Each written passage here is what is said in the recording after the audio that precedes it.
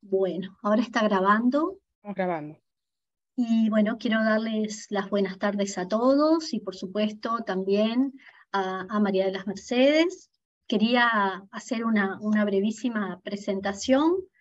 Eh, María de las Mercedes Abril es doctora en Estadística de la Universidad Nacional de Tucumán en 2014 fue magíster en estadística, también de la Universidad Nacional de Tucumán en 2007, y su eh, grado original en licenciatura en economía, que también la realizó en la Universidad Nacional de Tucumán. Actualmente es profesora adjunta del Instituto de Investigaciones Estadísticas de la Facultad de Ciencias Económicas de la Universidad Nacional de Tucumán.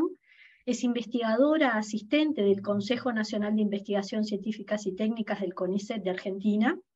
Sus, sus Áreas de investigación son series de tiempo, econometría de series de tiempo financieras, expansiones asintóticas, aproximaciones a las distribuciones y densidades estadísticas. Eh, la charla de hoy, bueno, todos están viendo allí el título, no obstante lo voy a, lo voy a decir, es la volatilidad estocástica en el mercado bursátil argentino. Y bueno, los dejo con, con, con Mercedes para que, nos, para que nos cuente un poco sobre este trabajo. Bueno, muchísimas gracias Silvia, primero por la oportunidad y segundo por la presentación tan linda. Eh, bueno, como les dijo Silvia, el nombre de la charla que vamos a dar hoy es la volatilidad estocástica en el mercado bursátil argentino. Este es un trabajo que vengo haciendo yo en particular y con un pequeño grupo de personas en general desde hace algún tiempo y venimos aplicando a la misma serie de datos distintos tipos de modelos y la vamos trabajando la vamos viendo de distintas formas a ver cuál de ellas es la mejor.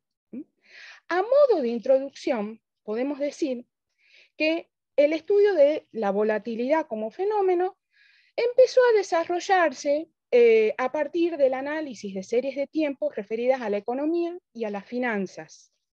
Sin embargo, tenemos que enfatizar que cualquier serie de tiempo que esté, puede estar sujeta a la volatilidad, esto no es específico de la economía o del ámbito financiero. Hay numerosas series de tiempo, principalmente justamente las económicas o financieras, que son las que hacen a nuestro estudio, que no tienen una media constante. Y en situaciones prácticas vamos a ver que la varianza del error observacional eh, condicional al conocimiento pasado va a estar sujeta a una gran variabilidad a través del tiempo. Esto es lo que vamos a llamar como volatilidad. Por otro lado, una característica importante de muchas series de tiempo es que ellas no son en general serialmente correlacionadas, pero sí son dependientes. De este modo, los modelos lineales, como aquellos pertenecientes a la familia de los modelos ARMA, puede ser que no sean apropiados para poder describirlas en su totalidad. Para tomar en cuenta la presencia de esa volatilidad que hemos empezado a definir, en una serie de tiempo es necesario recurrir a ciertos tipos de modelos. Una primera aproximación son los modelos heterocedásticos condicionales. En estos modelos, la varianza de una serie en un dado instante de tiempo depende de la información pasada y de otros datos disponibles hasta ese instante de tiempo. De modo que podemos definir una varianza condicional que no es constante y que no necesariamente coincida con la varianza global de toda la serie. Como les dije, hay una gran variedad de modelos no lineales en la literatura que son útiles para poder analizar una serie de tiempo a donde haya volatilidad. Una clase importante de ellos son los modelos de tipo ARCH. Estos modelos justamente no son lineales en lo que se refiere a la varianza. Los modelos de la familia ARCH o GARCH suponen que la varianza condicional, o sea, la volatilidad, depende del pasado de la serie.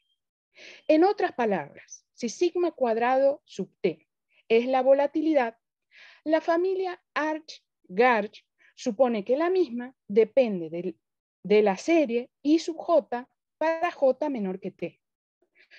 Por otro lado, hay otros tipos de modelos que también son útiles para describir este tipo de comportamientos y que son los modelos de volatilidad estocástica o MDE. Y estos no parten de este supuesto.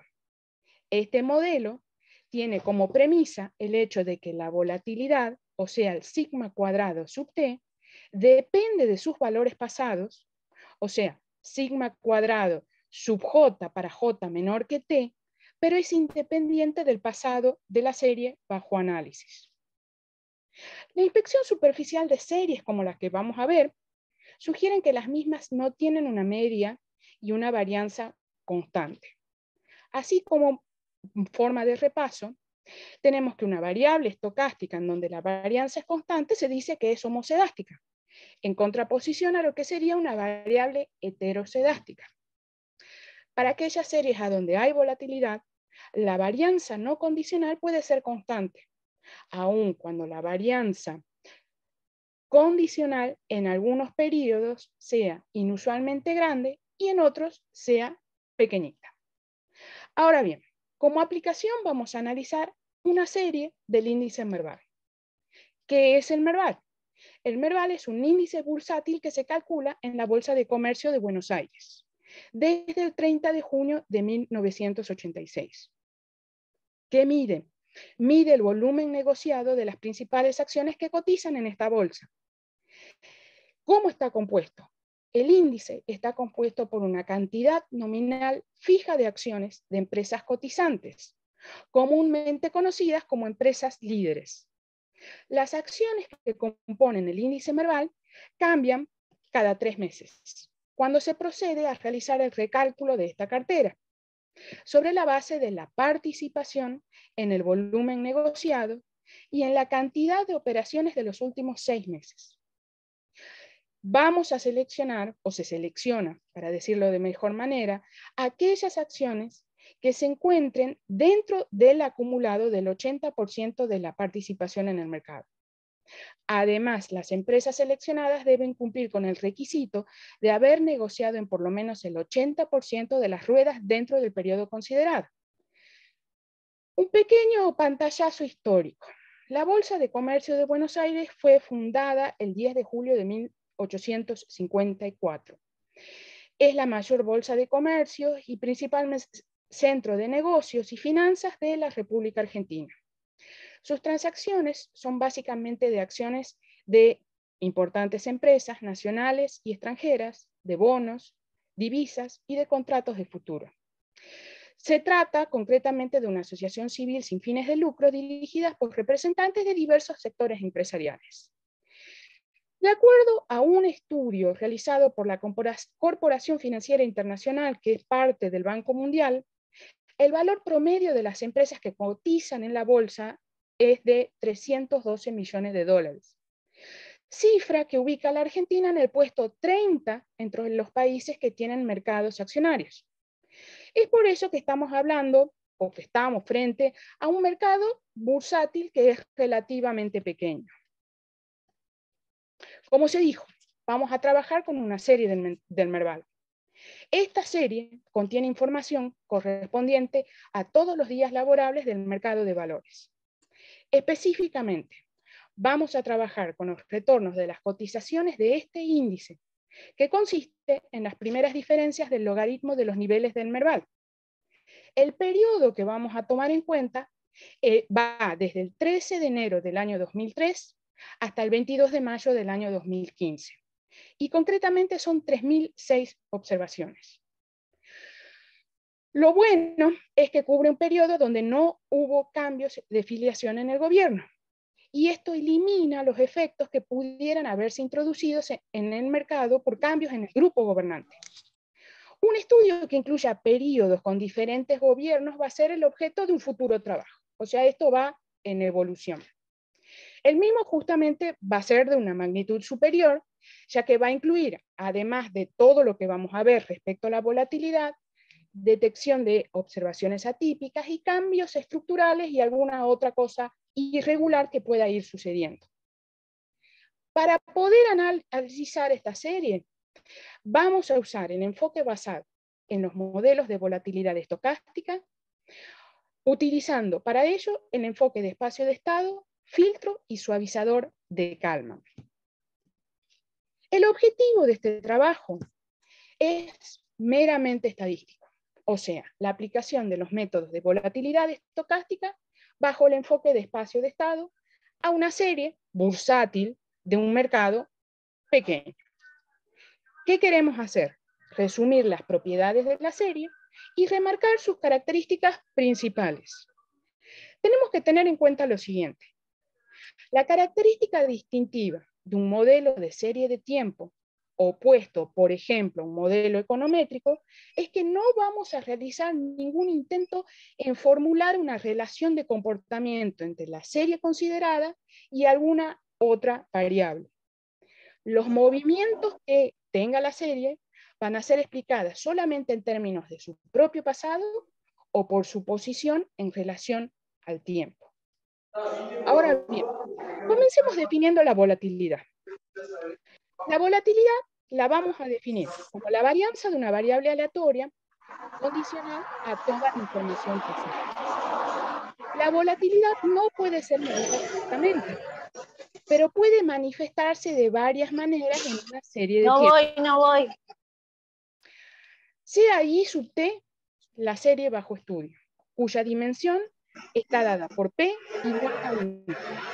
Vamos a definir a mu sub t y a sigma cuadrado sub t como la media y las varianzas condicionales de I sub t, dada la información hasta el, hasta el instante t menos 1 contenida en I sub t menos 1, respectivamente.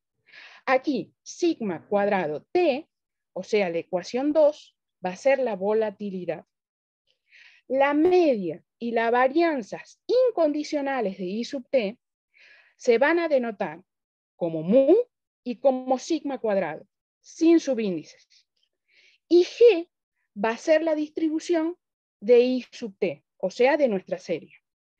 Mayores detalles y un tratamiento mucho más amplio lo pueden ver en mi tesis doctoral, que a quien quiera, luego de esta charla, le puedo hacer llegar. ¿Mm? Bien, en algunos casos, como en el caso que vamos a ver, el modelo se hace más preciso cuando la serie es modelada incorporando componentes estructurales, variables explicativas y otras características que expliquen mejor su comportamiento. Todo esto hecho mediante un esquema de espacio de estado con errores que siguen un modelo de volatilidad estocástico. En algunos casos, estos errores pueden contener a su vez componentes estructurales, pero esto no va a ser la situación en nuestro análisis. Basándonos en todo esto, para una serie I sub t univariada, lo dicho antes puede ser formulado de esta manera. A I sub t la vamos a definir de acuerdo a la ecuación 3. Beta sub t, que luego les voy a ir contando, se define de acuerdo a la ecuación 4. Y a su vez tenemos que nu sub t va a estar definido de acuerdo a la ecuación 5, sigma sub t se va a definir de acuerdo a la ecuación 6, y h sub t se va a definir de acuerdo a la ecuación 7. Ahora expliquemos todo esto. Beta sub t es el vector de estado, de orden m por 1. Nu sub t, perdón, omega sub t, que estaba acá, Son disturbios serialmente independientes, independientes entre sí e independientes de nu sub t en todo momento de tiempo. Las matrices del sistema dadas en la fórmula 3 y en la fórmula 4, que son Z, T, R y Q, van a tener dimensiones 1 por M, M por M, M por M y M por M respectivamente. Y si existen en ellas elementos desconocidos, van a ser incorporados al vector phi de hiperparámetros, el cual va a ser estimado al final por medio de máxima verosimilitud. A la ecuación 3, que es esta, la vamos a llamar ecuación de medición o ecuación de observación. Y a la ecuación 4 va a ser conocida como ecuación de transición o ecuación de estado. Ambas ecuaciones definen un modelo de espacio de estado con todas las características y propiedades de los mismos. En efecto, acá puede haber tendencia, estacionalidad, ciclos, variables explicativas y cualquier otra característica importante que vayan explicando al proceso y subte, o sea, nuestra serie de interés. Las estimaciones de los modelos de espacio de estado la vamos a realizar a través de paquetes de computación. En nuestro caso particular va a ser el paquete STAMP, desarrollado por Koopman, Harvey y Durnick en el año 2010. Las ecuaciones, por otro lado, perdón, 5, 6 y 7 van a definir un modelo de volatilidad estocástica para los errores del modelo de espacio de estado que formulamos anteriormente en las ecuaciones 3 y 4, donde epsilon t es una serie estacionaria con media 0 y varianza 1, y eta sub t es una serie estacionaria gaussiana con media 0 y varianza dada por sigma cuadrado sub eta, e independiente de epsilon t en todo momento de tiempo. Acá, sigma es un factor de escala y alfa 1 va a ser un parámetro. Como se puede ver en la fórmula 6, que es esta, HT no es igual a la volatilidad sigma cuadrado sub t, como suele suceder en la notación de los modelos de la familia Arch y Garch. Este modelo de volatilidad estocástica tiene dos atractivos bastante buenos. El primero es que es un análogo natural en tiempo discretos del modelo en tiempo continuo usado en trabajos sobre precios de opciones.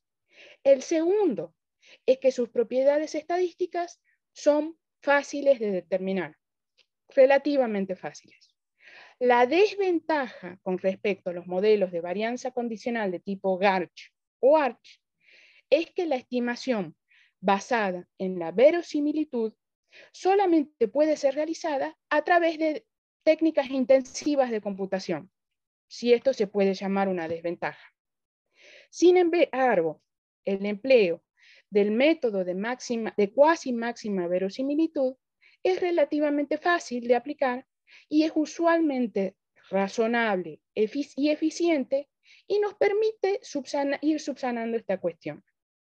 Este método se basa en escribir las ecuaciones 5, 6 y 7 de acuerdo a la fórmula 8 y a la fórmula 9, donde psi sub t es igual a esta diferencia y kappa es igual a toda esta expresión. Estas dos ecuaciones, la 8 y la 9, van a encontrarse también expresadas en la forma de espacio de estado. La fórmula 8 recibe el nombre de ecuación de observación y la fórmula 9 va a ser nuestra nueva ecuación de transición. Pero volvemos al hecho de que la estimación se hace difícil. Podemos subsanar esto usando el enfoque propuesto por Durbin y Koopman, que consiste en utilizar un procedimiento de cuasi máxima verosimilitud a través del filtro y del suavizador de Kalman. Sin embargo, ahora es importante hacer un par de tres observaciones. Primero, cuando alfa 1 en la fórmula 9 es próximo a 1, el ajuste de un modelo de volatilidad estocástica va a ser prácticamente similar al modelo, al ajuste de un modelo Garch de orden 1-1, con la suma de sus coeficientes próxima a 1. En segundo lugar, cuando alfa 1 es igual a 1 en la fórmula 9, h sub t va a ser un camino aleatorio y el ajuste del modelo de volatilidad estocástica va a ser similar al de un modelo I-Garch de orden 1-1 o un modelo Garch integrado de orden 1-1. En tercer lugar, cuando algunas observaciones nu sub t son iguales a cero, lo que puede ocurrir en la práctica es que no se puede hacer la transformación logarítmica que se especifica en la fórmula 8. Una forma de poder evitar este problema es restando la media general de la serie nu sub t de cada una de las observaciones y tomando a este resultado como la serie a trabajar. O sea, tomando la serie de trabajo a nu sub t menos nu barra, donde nu barra justamente es nuestra media. Otra solución es hacer la siguiente transformación basada en una expansión de Taylor, que está dada por la fórmula 11 y que es bastante más difícil, donde S cuadrado sub nu es la varianza muestral de la serie nu sub t y C es un número pequeño. Versiones posteriores a la versión 8.3 del programa con el cual vamos a trabajar incorporaban la transformación definida en la fórmula 11 con C igual a 0,02 como una operación previamente especificada que podía ser utilizada si uno la necesitaba. A partir de la versión 8.3, que es la que yo tengo específicamente, se deja de lado esta transformación como un elemento previamente especificado, pudiéndose realizar esa u otras transformaciones como la definida en la fórmula 10, que era esta, mediante el uso de la calculadora o de la disponibilidad de la función álgebra dentro de ese programa de acuerdo a los requerimientos y necesidades que vaya teniendo el usuario. Bien. La forma de espacio de estado, dada por las ecuaciones 8 y 9, brinda las bases para la estimación por cuasi máxima verosimilitud a través del filtro y el suavizador de Kalman. Y también nos permite construir estimaciones suavizadas del componente HT, o sea, de la varianza, y realizar predicciones. Acá, la expresión suavizada significa que vamos a incorporar toda la muestra al proceso de estimación. Uno de los atractivos del enfoque de cuasi máxima verosimilitud es que puede ser aplicado sin un supuesto sobre la distribución particular para epsilon t. Otro de los atractivos del procedimiento de cuasi máxima verosimilitud es que puede llevarse a cabo usando ciertos paquetes de computación, como en el caso específico del paquete STAMP.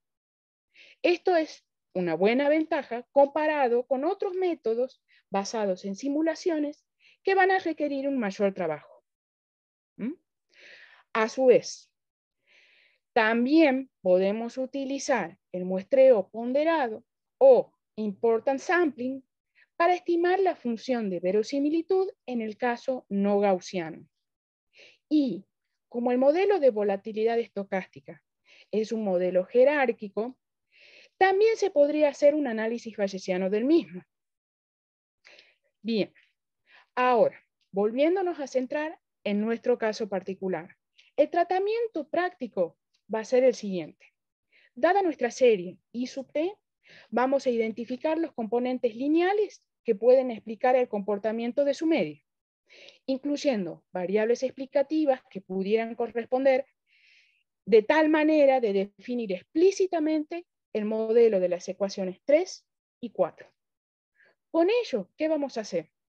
Realizamos primero el filtrado y luego el suavizado, obteniendo el estimador suavizado, beta t, sombrerito, como les decimos acá, del vector de estado beta t.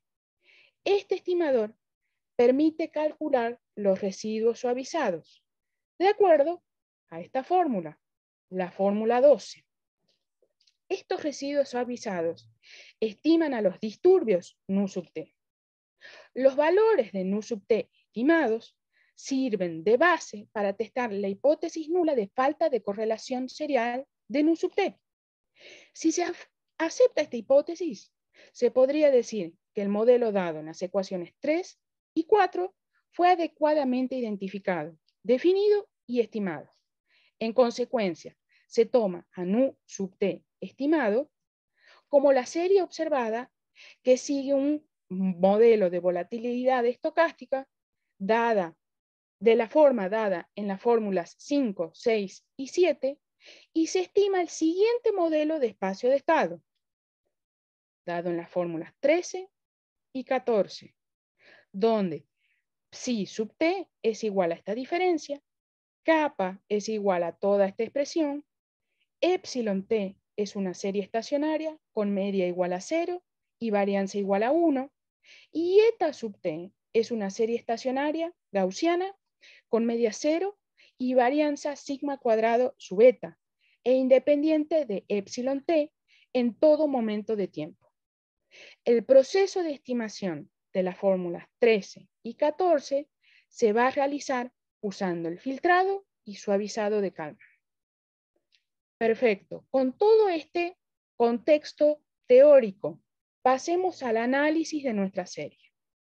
Como les dije al comienzo, como aplicación analizamos una serie del índice Merval. Esta es una serie con información correspondiente a todos los días laborables dentro del mercado de valores. Específicamente vamos a trabajar con los retornos de las cotizaciones de este índice, que consiste en las primeras diferencias del logaritmo de los niveles del Merval. El periodo, por las dudas, va desde enero del año 2003 hasta el 22 de mayo del año 2015. Y concretamente son 3.006 observaciones. Como les dije al comienzo, cubre un periodo grande donde no hay cambios de filiación en el gobierno. Esto elimina los efectos que pudieran haberse introducido en el mercado por cambios en el grupo gobernante. Es necesario destacar que si bien es un periodo muy largo para analizar, es posible realizar un estudio interesante y muy rico a donde nos permitan apreciar las principales características de la serie. ¿Qué es lo primero que hacemos una vez que tenemos los datos? Graficamos la serie. Y esto es algo que yo le digo a mis alumnos. Dentro del estudio de una serie, los gráficos son una muy buena manera de comenzar una, una investigación para poder luego sumergirnos en un estudio que sea más pormenorizado de la temática. Entre las funciones que cumplen los gráficos son las siguientes. Hacen más visibles a los datos bajo estudio y es lo que vamos a ver. Los sistematizan y los sintetizan. Ponen de manifiesto sus variaciones y su evolución histórica o espacial. Eso lo vamos a ver también. Y también permiten evidenciar las relaciones entre los diversos elementos de un sistema o de un proceso y mostrar indicios de alguna futura correlación entre dos o más variables. Además, la aplicación de un gráfico sugiere nuevas hipótesis de investigación y permite la posterior implementación ya de los modelos estadísticos, que van desde los más sencillitos hasta aquellos que sean mucho más refinados logrando un mejor análisis de los datos y de las fluctuaciones de los mismos a lo largo del tiempo. Bien, grafiquemos. En la figura 1 tenemos la serie Merval diaria desde el 13 de enero del año 2003 hasta el 22 de mayo del año 2015.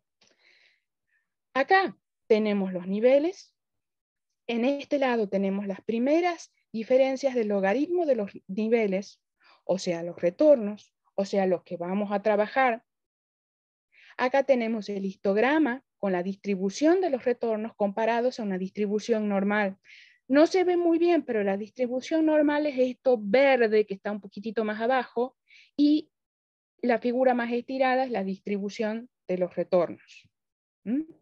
Y a su vez tenemos acá el diagrama QQ de los mismos. Bien. ¿Qué podemos ver acá? Podemos ver que los retornos no son normales. Ahí, de una. Tienen una distribución con algún grado de asimetría negativa y hay curtosis. Realizando una inspección del gráfico de la serie de los retornos, podemos ver también que hay periodos donde hay la volatilidad es menos pronunciada que en otros, como el correspondiente al año 2009, concretamente entre la observación 1455 y la observación 1698.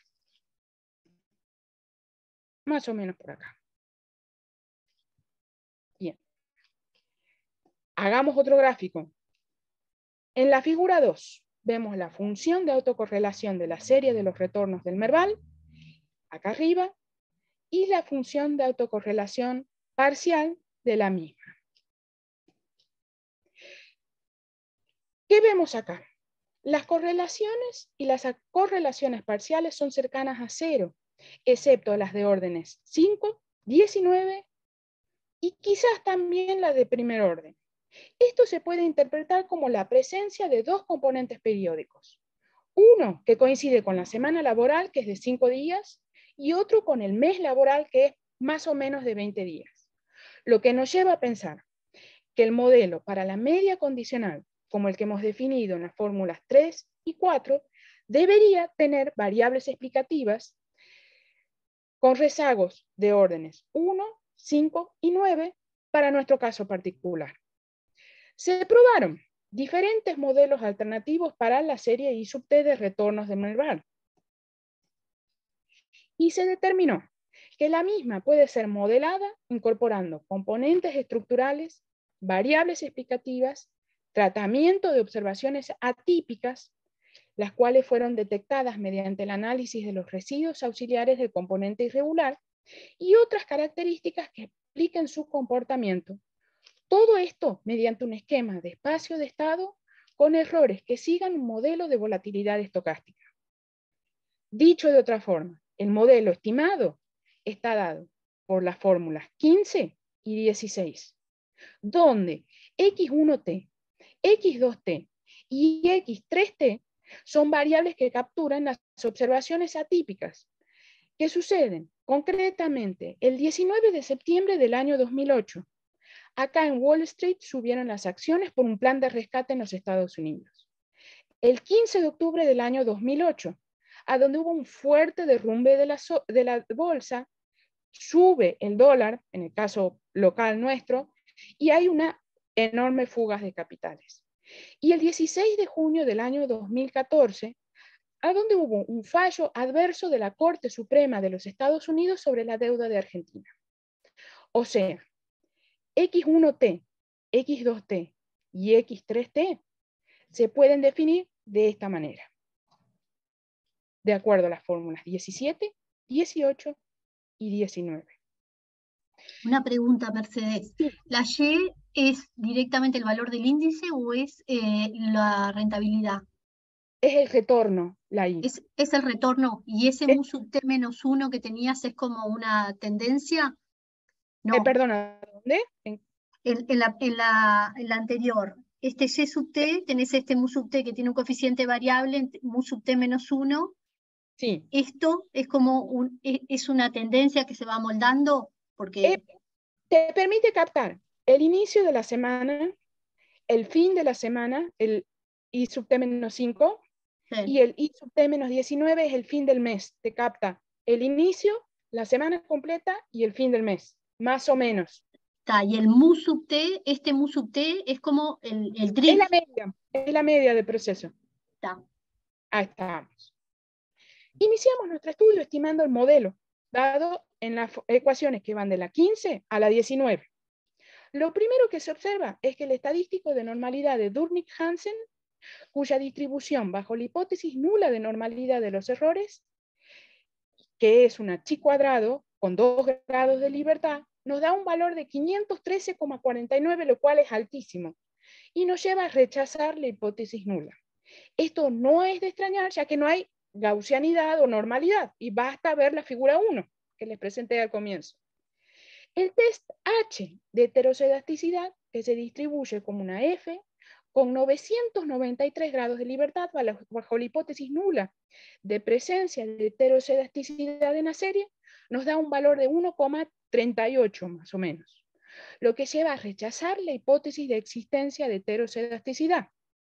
Por último, el estadístico Q de Box y Leung, que en este caso se distribuye como una chi cuadrado con 53 grados de libertad, da un valor igual a 47,039, lo que conduce a rechazar la hipótesis de falta de correlación serial de los residuos.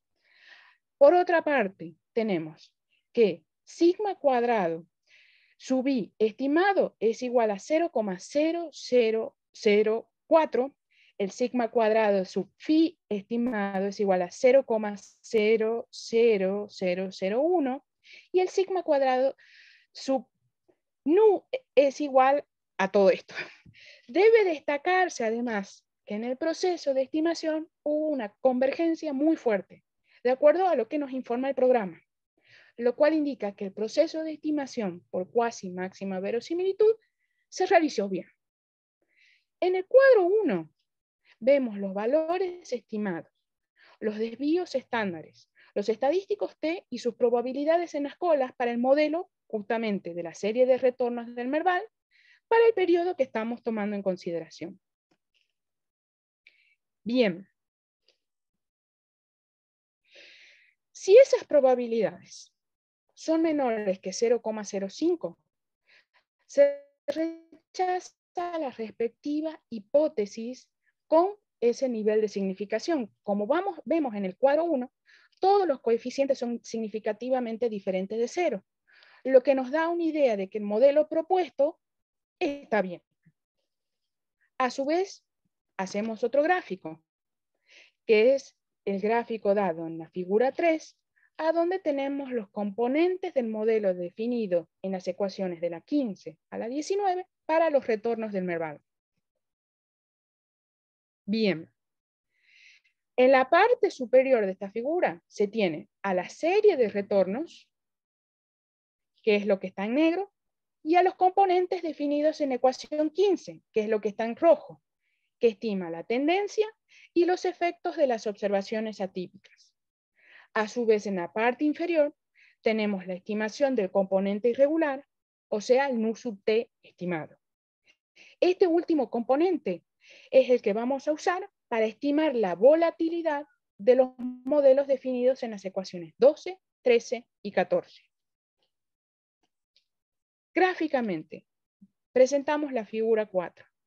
Esta figura que nos muestra los residuos estandarizados para el modelo definido en las ecuaciones 15, 16, 17, 18 y 19 para nuestra serie de retornos.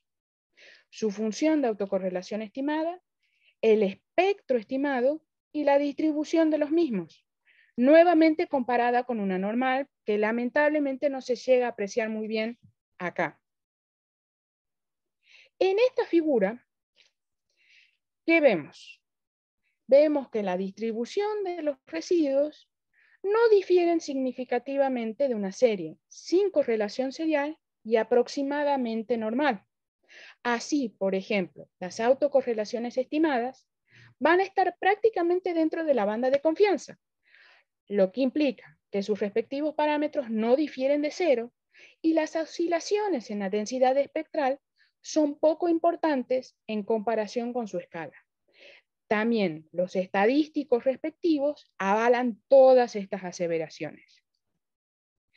Al estimar el modelo dado en las fórmulas 13 y 14, encontramos que sigma cuadrado estimado del logaritmo de nu sub t al cuadrado estimado es igual a 5,47. Sigma cuadrado estimado de psi es igual a 5,25 aproximadamente. El nivel es fijo, por lo tanto su varianza es cero y el kappa estimado es igual a menos 1,68 aproximadamente. El estadístico de normalidad da un valor de 673, lo cual es alto. Esto es inevitable porque el modelo transformado en que está presente en las fórmulas 13 y 14 no es normal. No debería preocuparnos. Por otra parte, el estimador de alfa 1 es alfa 1 sombrero que es igual a 0,98, lo cual es cercano a 1, lo cual está bien. En la, perdón, en la figura 5, ¿qué vemos? El logaritmo de los residuos al cuadrado del modelo definido en todas las ecuaciones de la 15 a la 19 para los retornos del Merval. La estimación del nivel, el componente AR1 cuya ecuación va a estar dada en la fórmula 14 y finalmente las estimaciones del componente irregular. Bien, de la fórmula 6 que presentamos al comienzo de la exposición, vamos a desprender que la volatilidad total es igual a esta expresión, o sea, sigma cuadrado por E a la H sub T. la cual tiene dos componentes multiplicativos, que son una constante, que es el sigma cuadrado, y otro que se denomina volatilidad básica, que es L a la H sub T. De esto, por que el otro simplemente es una constante. La volatilidad básica la vamos a estimar como E a la H sub T sombrero, donde H sub T sombrerito es igual a toda esta expresión.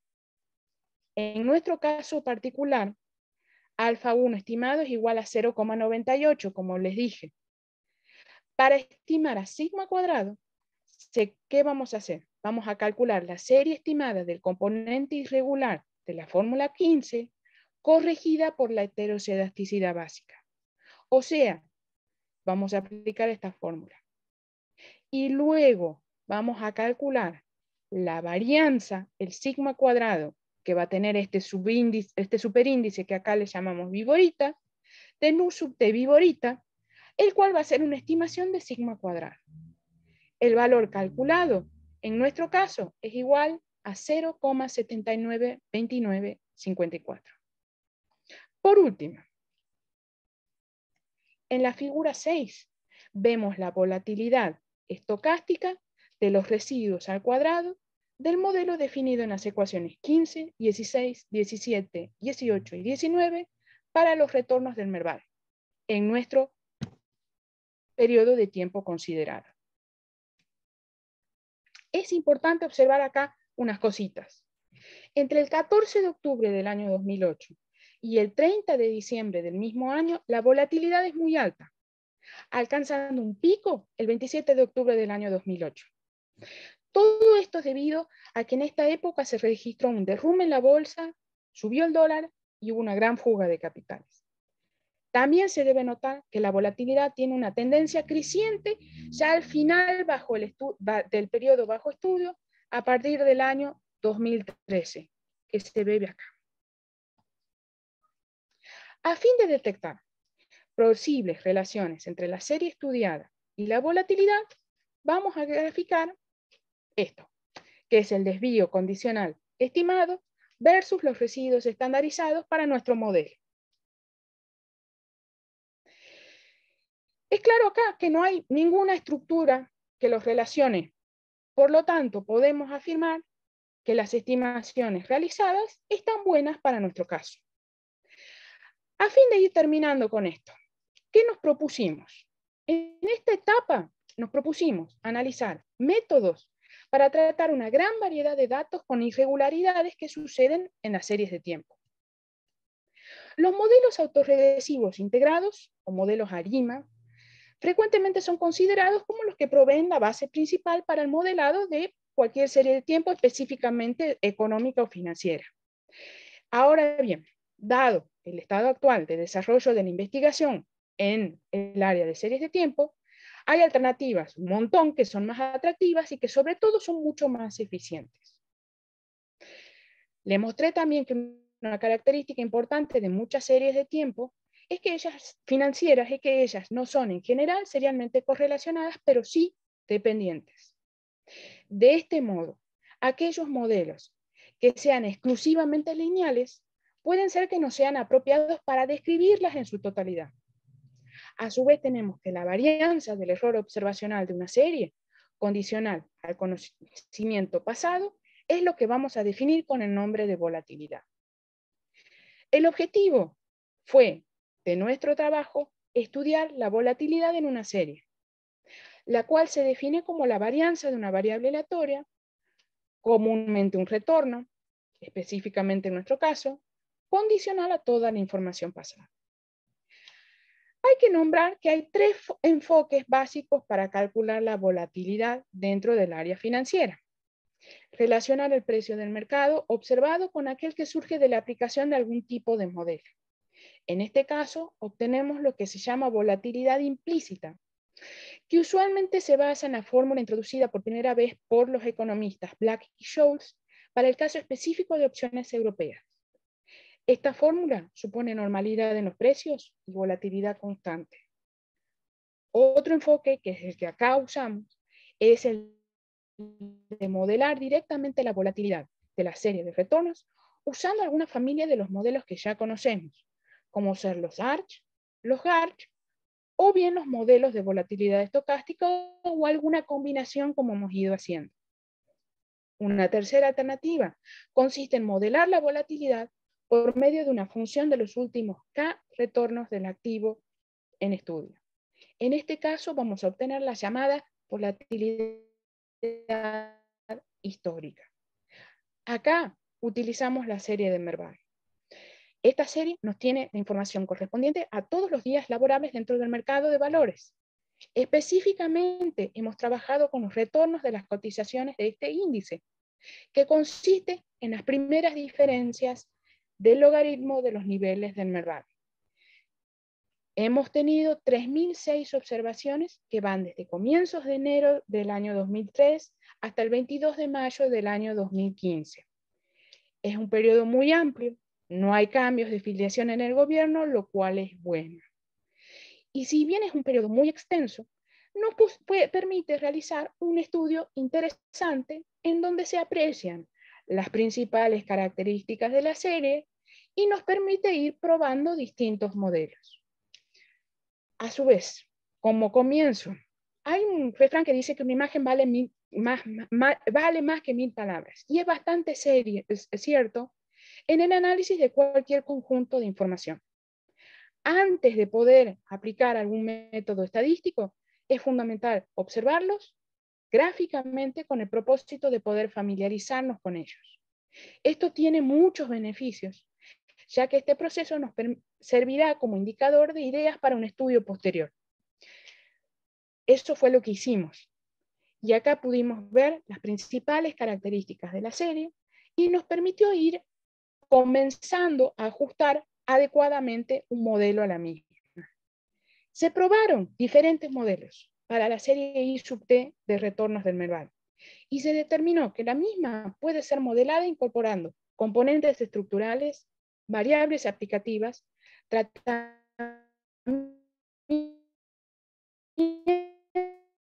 de observaciones atípicas auxiliares del componente irregular y otras características que expliquen su comportamiento, todo ello mediante un esquema de espacio de estado con errores que siguen un modelo de volatilidad estocástica.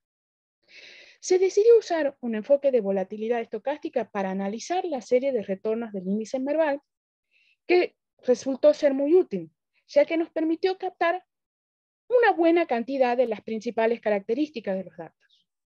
Fue altamente adecuado la aplicación de los modelos de espacio de estado para estimar los componentes de la serie y luego para estimar la volatilidad estocástica de los errores de la misma. Como aplicación de este método se ha podido estimar adecuadamente la volatilidad total y sus componentes. ¿Qué nos queda para el futuro? Analizar si podemos usar otra especificación que capture aún más las características de la serie de las que puede hacerlo este modelo como el que acabamos de ver.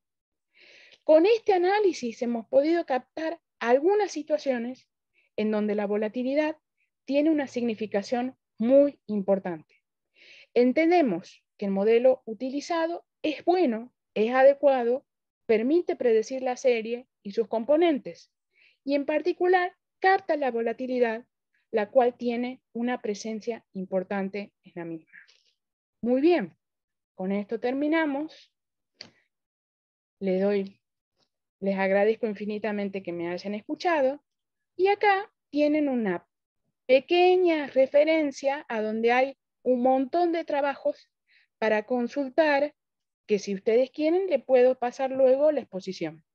Muchísimas gracias. Muchas, muchas gracias, Mercedes. Y sí, te vamos a pedir la presentación también. Seguro. Sí, sí, sí. Sí, sí, sí. Este, bueno, y tenemos a Daniel que quería hacer una pregunta. O por lo menos me pareció que levantaba la mano, o no sé si era un aplauso. un aplauso en realidad. Ah, bueno, pues, Está muy bien. Gracias. Bueno, aprovecho a, preguntarte ya que no veo ninguna mano. Capaz que si, usted, si alguno levantó la mano y yo no la veo, usen la voz y, avisen. Este, Bueno, primero agradecerte obviamente la presentación, súper interesante el, tratamiento de, la volatilidad, en, este caso, en el caso del índice Merval. Y, hay algunas cosas que me parece bueno, muy interesantes. ¿Cómo probaste que, la volatilidad en principio no depende tanto de la media de la serie, sino de, la, de la volatilidad anterior? Y cómo los factores externos pesan muchísimo en este, la evolución de este, de este índice, básicamente los, los outliers que encontraste o, o, los, o los periodos de mayor volatilidad que encontraste también tienen que ver con efectos, bueno, la crisis, este, la crisis europea, y el otro factor que sí es importante, naturalmente, que tiene que ver con la dinámica interna, tiene que ver con esto de la pérdida del juicio este, que tuvieron con recuerdo a los, a los bonos, ¿no? A los bonos, exactamente. Eso, eso también es otro evento interesante. Yo me imagino que cuando extiendas el periodo y agarres el periodo de Macri, cuando de alguna manera el tema este del, juicio un poco como que se resolvió y empezó la entrada de capitales y demás, probablemente encuentres alguna dinámica distinta. Me imagino que va a ser bien interesante ver si estos patrones de movimiento con las reglas internas de este periodo este, y con una apertura diferente en el, en el, periodo siguiente, se siguen manteniendo las, las características de la serie. Seguro. Sí, sí, sí, seguro, seguro. Esto va a ser interesante. Esto fue una primera aproximación, tomar un, era la información que disponíamos en ese entonces, y ver cómo funciona. Y vimos que funciona bien, va funcionando bastante bien. Ahora lo que queremos hacer es adecuarlo, o sea, extenderlo y llevarlo más hacia, digamos, la actualidad. Buenísimo, buenísimo, buenísimo. No sé si alguien quiere hacer alguna otra pregunta o comentario. Silvia, yo tengo alguna pregunta, algún comentario. Bueno, dale. Mercedes, una, una consulta. Presentaste al inicio, o sea, las medidas de, observación, creo que le llamaste, y, de estados, cómo, cómo son las transiciones, y, dijiste que era algo matricial. Sí. O sea, después en, tu trabajo lo, lo, considerás unidimensional, ¿no? ¿O hay, hay, hay las matrices sí. sí, sí, sí, las, o sea, matricial en términos generales, exactamente. Si vos lo, a todas las M y todo lo demás lo consideras como uno, es fácil ponerlo en términos, digamos, eh, eh, unidimensionales. Ah, ahí va. O sea, este, este estudio fue todo unidimensional. Unidimensional, exactamente. Es fácil pasarlo a, matriz o volverlo de nuevo a una dimensión. sí, sí, sí, sin duda. Eh, lo, lo, otro, o sea, vi que apareció el modelo de, de Hull White y, y tal, el modelo Hull White no, no es de modelo de volatilidad estocástica, o sea, tiene una función sigma que es dependiente del tiempo, pero pero se, o sea, es, es, estimable, así que no, no, es un modelo de volatilidad estocástica, eso por las dudas.